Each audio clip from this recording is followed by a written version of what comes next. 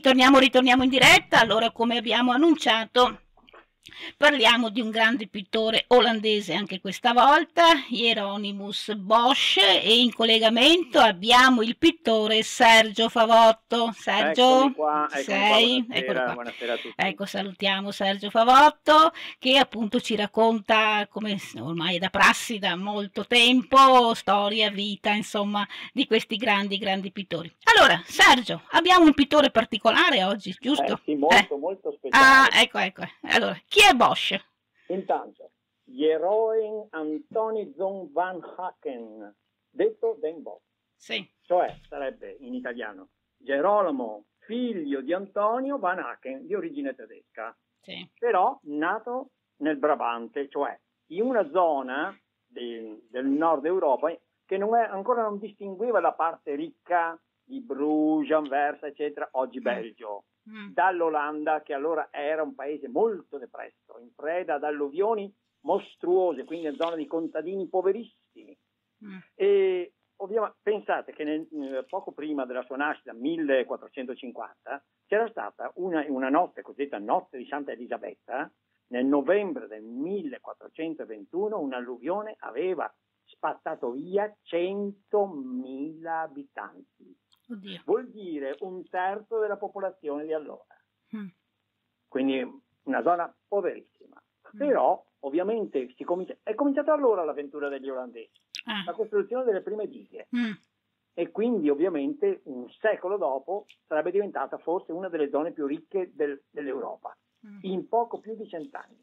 Mm. Quindi in questa zona dove c'era appunto una, questa oscura previsione quasi della distruzione totale, l'evocazione del diluvio eh, che era presente in mezzo alla popolazione, nasce questo ragazzo di una famiglia che faceva um, una famiglia artigiana dove si costruivano arredi sacri, dorature di statue, ehm, arredi di vario Mm. genere, lavorazione degli argenti, soprattutto per le chiese o anche per i pochi ricchi che si- residevano in zona. Mm. Quindi già in questo si vede un lavoro minuto con- fatto con lenti, fatto con, con strumenti tipici proprio degli orafi e Mm. questo è molto importante Mm. perché l'uso delle lenti gli avrebbe permesso l'esecuzione delle sue mirabolanti pitture in cui migliaia di persone si affollano in uno spazio ridottissimo, Mm.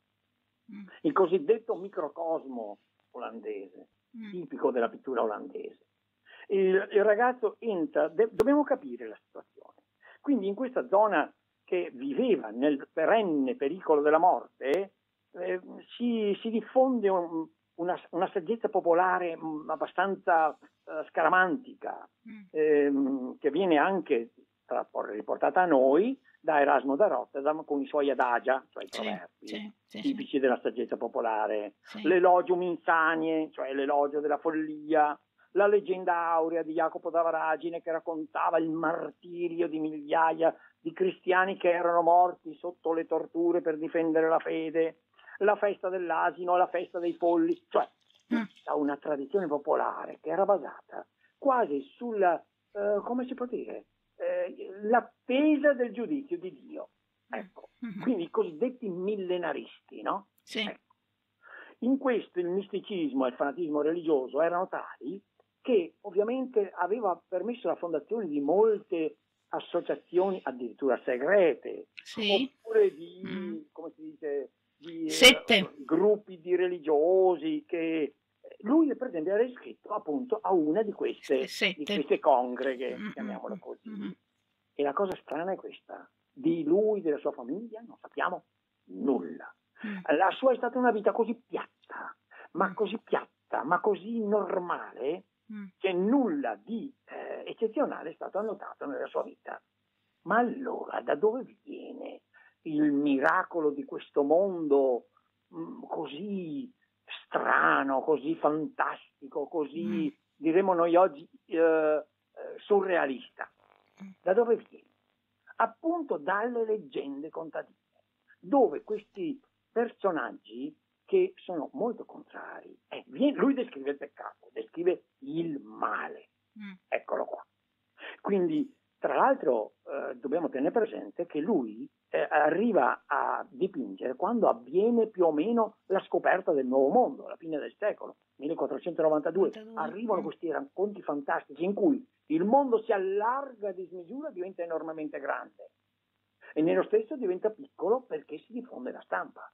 Mm. Quindi circola la cultura. Quindi pensate a questa contraddizione, no? Quindi fantasie cosmogoniche, animali strani. I nuovi viaggiatori descrivono un mondo in cui ci sono piante nuove, prodotti nuovi, le patate, i fagioli, le patate, sì. Tutto sì, che arriva sì, da, sì, la, il mais che arrivano. Eh, il mais però, dall'America, sì, sì. Quindi la fantasia popolare mm. inventa animali nuovi, piante nuove, inesistenti ovviamente, mm. ma dal racconto dei viaggiatori diventa una specie di antologia di creature impossibili mm. che animeranno i quadri di Bosch. Mm. Ecco, la sua prima opera che lo rese noto è la leggenda, il tritico del carro di fieno. Mm. Quindi, paese agricolo. Immaginate un tritico nel quale a sinistra appare la, creazione, la caduta degli, altri, degli angeli ribelli in alto, piccoli come moscerini, che mm. crollano giù dal cielo sotto forma di ossa. Mm. La creazione di Eva in un mondo incantato, con una costruzione di rocce fantastiche, mai viste. Al centro la tentazione di Eva e in basso, dietro una, una specie di separé fatto di rocce incredibili, eh, ehm, che producono fiori e frutti esotici, un angelo caccia Adamo ed Eva. Questo è il, il pannello di sinistra. Al centro dovete immaginare un quadro, da parte sopra una zona celeste. Mm. Gesù dall'alto delle nuvole, su un paesaggio lontanissimo azzurro di colline, di montagne e di mare, eh, domina un immenso carro di fieno, mm. sul quale una coppia di eh, do, uomini e donne una coppia sta, sta, ascoltando una musica suonata da un, angelo, da un demonio tromba, mm. eh, con un angelo che tenta di salvare, ma dentro questo cespuglio che sta sopra il carro di fieno mm. ci sono delle, una coppia di contadini che si baciano, cioè la celebrazione della lussuria. Mm. E sul carro. Gente che tenta di arrampicarsi con le scale, di arraffare con i raffi il fieno. E infatti, infatti il, tema, il proverbio era ti arraffa, arraffa. Eh. Quindi questo carro della cuccagna, perché l'immensità del fieno in una, luogo, in una zona panudosa era una, una ricchezza incredibile per gli animali domestici, ma dietro c'è un corteo straordinario di papi, di re, di imperatori che si avvicinano per impadronirsi del carro.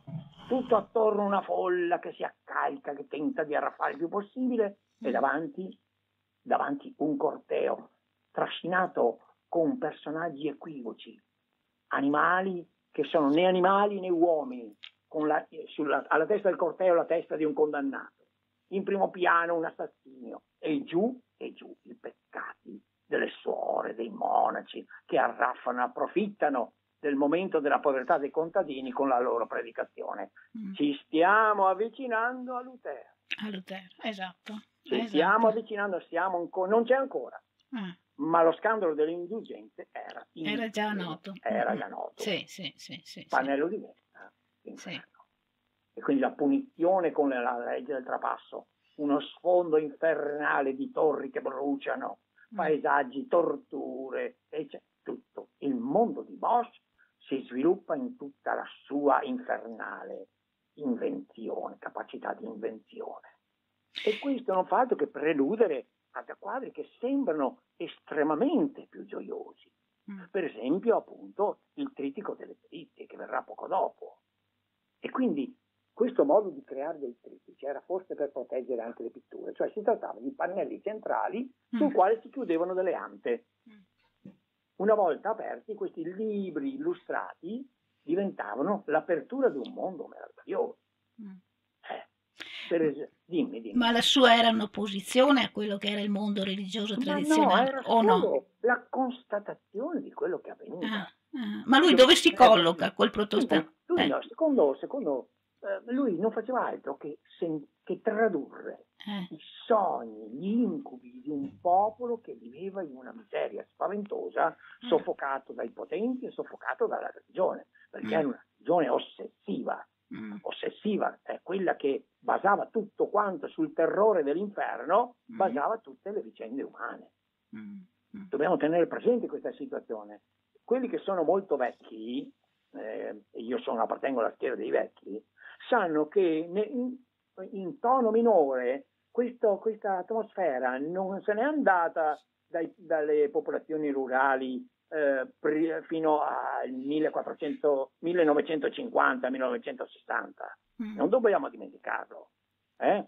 E in certi paesi del sud dura ancora, con le mm. tradizioni, con le processioni, con le passioni di Cristo di Maria, cioè tutto un mondo abbastanza dominato più dalla superstizione, e dalla religione. E dalla paura.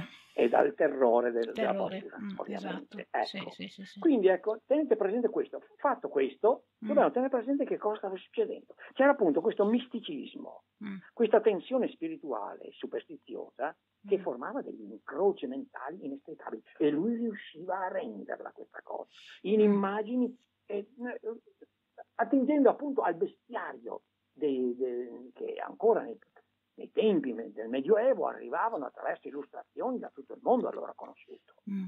Ecco, non dimenticate che intorno al 1400 c'erano Jan Hus, filosofo, e soprattutto Gerolamo Savonarola, che sì. avevano predicato la fine del mondo perché il peccato sommergeva le coscienze. Sì, sì, sì, ecco, quindi i cosiddetti millenaristi. Guardate che Bosch è morto nel 1000 516, sì. 4-5 anni prima dello scandalo di Lutero. Mm. Non dobbiamo dimenticare questa cosa. Ecco. Erano quasi contemporanei, giusto? Eh sì, è, è poco dopo. Poco insomma, dopo, sì. Lutero sì, è nato che lui era ormai vecchiotto, vecchiotto sì, sì, per dire, insomma. Ecco. ecco. quindi ecco un'altra immagine, noi dobbiamo tenere di, di, che forse il suo quadro più interessante dal punto di vista psichiatrico, diremmo noi oggi, La nave dei folli. Eh, la nave dei folli, esatto. Ecco, si basava su un libro del 400 mm. di ispirazione proprio locale, eh, si chiamava Das Narrenschiff, la nave dei folli, e raccontava quello che accadeva, cioè il pazzo allora non era una persona da escludere dalla società, mm. era una specie di profeta, di messaggero di Dio, perché dicendo cose fantastiche e folli era come se fosse ispirato da Dio, quindi veniva tenuto, tenuto in considerazione al punto che ogni anno c'era una festa mm. e c'era una nave azzurra che portava questi matti in giro per i porti, eh, che diventava una specie di spettacolo viaggiante, ma anche una specie di eh, luogo e contatto su cui meditare. Mm. Queste navi dei folli, che per, eh, viene descritta in 100, 102 capitoli in questo libro famoso, appunto si chiama Narenschiff, e che si imbarcano, questi folli veleggiavano per il mare e andavano a Narragonien, cioè la terra dei matti, per arrivare poi, vedete che la pronuncio bene, eh, si chiamava Charlafferland, cioè la terra della cuccagna, mm. cioè il luogo dove i matti potevano attingere gratuitamente ai doni del cielo. E infine, come poteva finire? In un grande naufragio. Mm.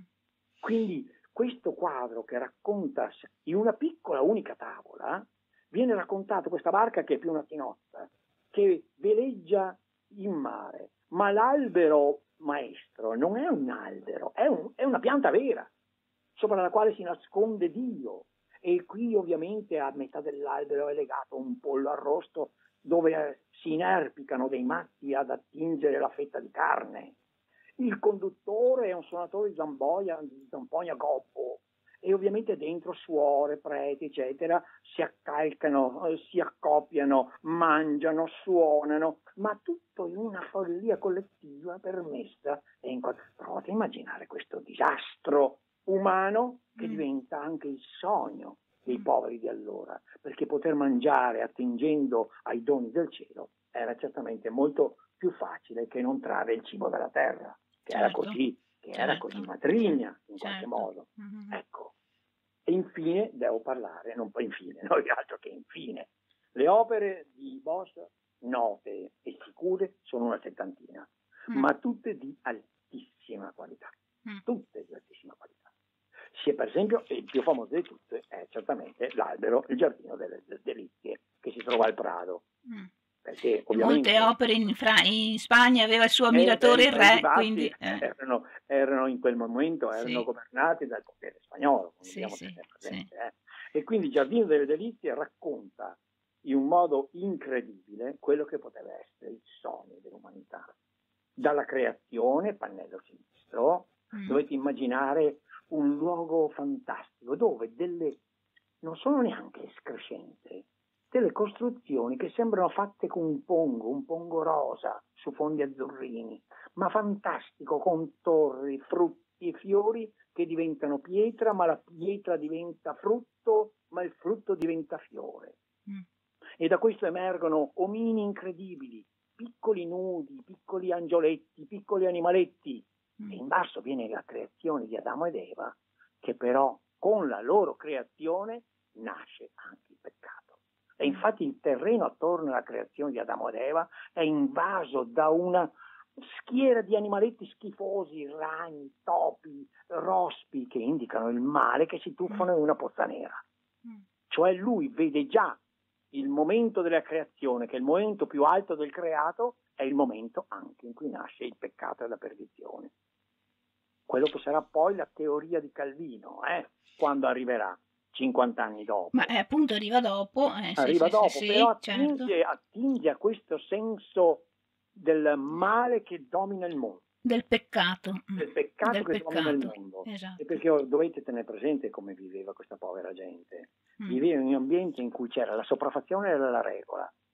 La gente più ricca, la poca gente ricca, era talmente spacciata, spacciata Mm. da ehm, mostrare pubblicamente il proprio lusso, la propria vita folle, eccetera, di fronte a gente che nulla aveva e Mm. nulla riusciva a trarre, trarre dal terreno. C'era l'umiliazione. Mm. L'umiliazione della Mm, povertà. mm, mm, Ecco, e questo sembrava un castigo di Dio immanente. Quindi questa umanità, ecco, sto- eh, verrà poi un pannello in cui parlerò, il cosiddetto inferno musicale. Devo parlare del pannello centrale del trittico delle delizie. È forse il punto più alto dell'immaginazione umana. Credo che nessuno sia mai riuscito mm. a, a- in qualche modo a illustrare meglio il sogno dell'eterna giovinezza.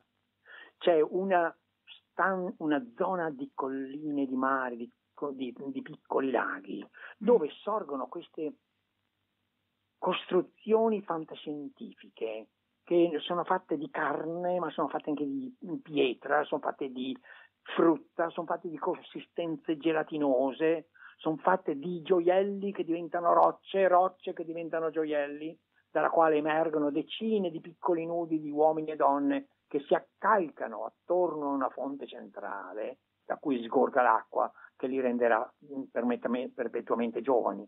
Una giostra di centinaia di cavalieri attorno alla pozza della giovinezza, con animali strani, con giraffe eh, dal, dal corpo di pesce, pesci che hanno forme parte di uccelli, parte di insetti, e storme di uccelli che diventano uomini, che diventano persone, bolle, fiori che diventano fantasmi di vetro, nelle quali ci sono coppie che si amano. È una cosa, non si può descrivere, No, deve essere visto. Cari signori che ascoltate, eh, voi fate un clic sul vostro computer, Mm. dovete, fatelo dopo però perché altrimenti adesso non potete seguire più di Mhm. tanto, Mm. e cercate Hieronymus Bosch. Voi vi accorgerete che- di entrare altro che nel paese del- degli anelli, altro che eh, nel regno di, di spade, altro che, cioè, veramente una cosa incredibile, di 600 anni fa. Questo è uno degli altri, ovviamente, il pannello di destra è Mm. appunto il pannello dell'inferno, che è l'inferno, l'inferno del musicale. Perché? Perché tutto avviene in quanto l'umanità è sorda alla legge divina e gli uomini vengono torturati con strumenti musicali, arpe, arpe violini, eh, tamburi, diventano strumenti di tortura per un- una umanità sorda alle leggi di Dio. Ovviamente è una cosa indescrivibile, indescrivibile. Tanto per dirvi, provate a immaginare un pesce uccello seduto su un trono che sta cacando persone che ha già divorato, persone che lui sta divorando, dalla quale escono eh, schiere di rondini dall'ano e che poi ovviamente precipitano in una pozza, che è la pozza del, del peccato profondo, in cui gli ingordi vomitano e gli avari cacano monete d'oro. Cioè, io vi sto descrivendo il minimo, cioè io sto dicendo un tassello minuscolo. Ma questo derivava dal peccato, sempre il, il, il peccato. Il dominio del male. Nel male. Del male. Mm. Certo. E questo lo si vede anche quando, dopo un viaggio in Italia, mm. lui incontra quasi sicuramente Leonardo tra Venezia e Milano. Perché mm. le caricature di Leonardo diventano sue, se ne appropria, per esempio nella salita al Calvario, un altro quadro terrificante, mm. in cui le uniche, le uniche, gli unici volti che hanno una forma umana, mm. eh, così, proprio normale, sono al centro del quadro il volto di Cristo paziente, in alto a destra il buon ladrone che viene affrontato da un monaco demoniaco e in basso a sinistra il volto angelico della Veronica. Tutto il resto è un ghignare di uomini mostruosi. Il peggior di tutti in basso a destra è il volto deformato dalla, dall'ira e dalla cattiveria del cattivo ladrone. Mm. Questo quadro in piccolo racconta alla versione, la versione olandese delle caricature di Leonardo. E questo è un momento molto importante perché in Italia farà gli unici quadri mm. che sono di sapore quasi italiano. Il martirio di Santa Giuliana, per esempio. Eh, il martirio di Santa, il tritico eh, anche, il tritico è, Santa è Giuliana. È famosissimo eh, perché sì, dove sì, è, sì. si trova nel Palazzo Ducale di Venezia. Sì, e anche abbiamo stato... opere alle gallerie no? dell'Accademia. Esatto, esatto, ha subito moltissimi danni nel suo trasferimento Eh. a Vienna nell'Ottocento ed Eh. è ritornato molto danneggiato. Ah, Comunque ancora oggi un'opera assolutamente... E però anche qui appaiono dei personaggi angoscianti, però in un clima molto più serio, molto più italiano. Ecco, mm.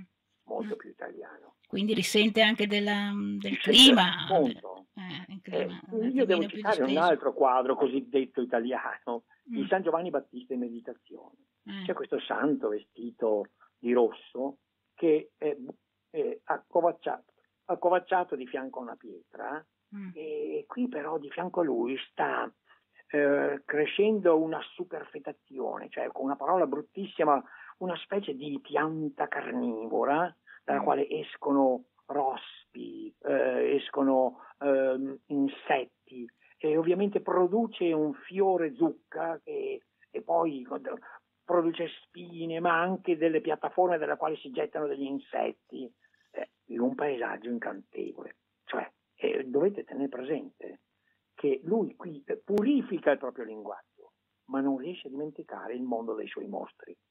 Ecco.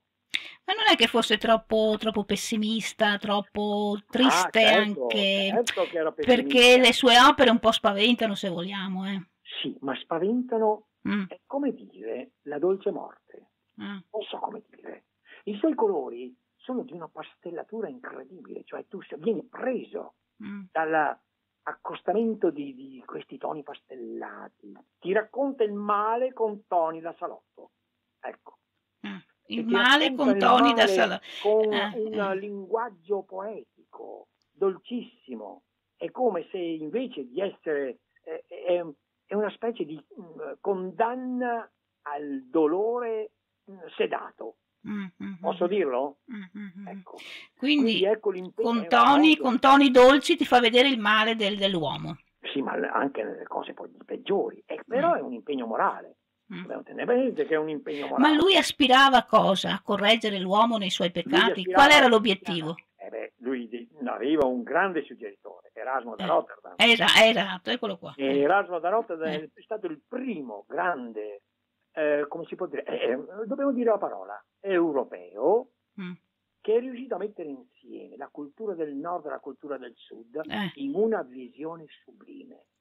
Cioè, l'uomo europeo è una melange, è all'inglese una melting pot, mm, un, mi- un minestrone mm, di culture mm, che nate dall'incontro dei barbari con la cultura, con la cultura latina. Latino. E questa, questo minestrone aveva prodotto una cultura nuova, che noi oggi chiamiamo cultura europea. Lui ha avuto questa visione che le culture chiuse mm. sono culture di microbi. E lo si vede nei quadri di Bosch che la cultura locale era una cultura destinata alla estinzione. E sarà proprio Bosch a dichiararlo con le sue opere cosiddette italiane mm. che l'incontro del, del, mondo del nord, più malefico, più oscuro, e ovviamente tenete a pensare ai sei mesi di buio dei paesi nordici. Mm, eh, sì, anche dal punto di vista climatico. Mm. Quindi anche la depressione, sì, la certo. l'isolamento all'incontro solare con il sud, le luci di Venezia. E queste due culture daranno appunto una cultura che oggi è unificata. Noi andiamo oggi in Olanda e troviamo i ristoranti italiani. Mm. Noi andiamo in qualsiasi paese del mondo e incontriamo la luce di Venezia, la luce di Roma, ma anche il contrario voi trovate nel, nel nord Italia o in tutto il mondo il senso luterano della, della borghesia moderna, cioè del, eh, del Dio ti aiuta se tu ti aiuti. Quindi il concetto di evoluzione anche delle professionale, che è tipico della cultura luterana. Ecco, di Lutero che credeva... sguardo a queste eh. cose perché è informato, ma abbiamo dimenticato una cosa molto importante. Mm. All'epoca non c'era, ancora, non c'era ancora la scienza, ma c'era l'alchimia. Che cos'era? E lui si appoggia all'alchimia. Eh certo, l'alchimia eh sì. era l'unico eh sì. appoggio eh che poteva giustificare Sì. questo- questa follia di un mondo che evolveva. Mm. Quindi il principio creatore, lo Mm. spirito universale, che è fuso nella materia, nella materia che può diventare altro, Mm. il mercurio che può diventare oro, il nero che può diventare bianco, il mercurio, il piombo che può diventare oro. Piombo. Quindi una- quello è il segreto della pietra filosofale per ottenere l'illuminazione dello spirito. Mm. Quindi la grande opera, citata moltissimo nei suoi quadri, come Mm. l'uomo albero, dentro il quale avviene l'elaborazione alchemica e che lui stesso è, si trova nell'inferno musicale, eh, Mm. tutto il male, se il piombo può diventare oro, anche il male può diventare bene. Mm. Quella trasformazione del male in bene. Mm. Ecco, Ecco. e lo si vede Mm. soprattutto Mm. in un giudizio universale, che lui lo ha reso anche celebre, che si trova ovviamente adesso a Vienna all'Accademia delle Arti Figurative, in cui la parte alta, in cui Gesù seduto su un arcobaleno circondato dai pochissimi beati, Mm. vede e, pro- e prospetta la salvezza a un mondo di dannati che si scannano tra di loro in basso.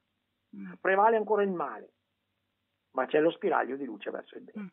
Ma lui crede nell'uomo o un aiuto divino alla fine? Crede nell'aiuto divino perché l'uomo è. Mm. è una melange, di- è nato dal peccato, Mm, mm, è nato dalla- da una dannazione. mm. Se il primo uomo ha distrutto il progetto di Dio, tutti gli uomini rientrano in questo in progetto. questo progetto e crede nel divino, certo. Ecco. Bello, bella questa narrazione. Interessantissima, interessantissima. Siamo qua tutti a orecchie tese, ovviamente, ad ascoltarti. Allora, Quest'ultima cosa devo dirla, Sì. illuminata da un quadro del fine di sua vita, Eh. che è il volo, la caduta di Sant'Antonio, per dire che anche i santi hanno i loro problemi. eh, Questo santo che viene trascinato da creature immonde verso l'alto eh, e che precipita, forse perché non ha creduto abbastanza in Dio, eh, e che viene aiutato da poveri umani a ritornare nella sua grotta. eh, Quindi siamo alla vigilia, infatti sotto il ponte dove lui viene portato a casa ci sono degli ecclesiastici che vendono le indulgenze. Ah, eccole, Siamo, eccole, eccole, siamo alla vigilia della riforma di Lutero. di Lutero. Certo, e da qui si apre un altro capitolo. È Bene, difficile parlare di questo perché rendere con parole queste cose eh, è quasi impossibile. È quasi impossibile. Bene, allora grazie Sergio, narrazione eccezionale anche oggi, ci diamo appuntamento a mercoledì prossimo, ricordo queste interviste, le trovate nel canale YouTube, Voce, Storia e Cultura, eh, ascoltiamole, riascoltiamole perché magari certi passaggi li, li comprendiamo meglio. Grazie Sergio, grazie Ciao, mille. alla, alla prossima, grazie Sergio.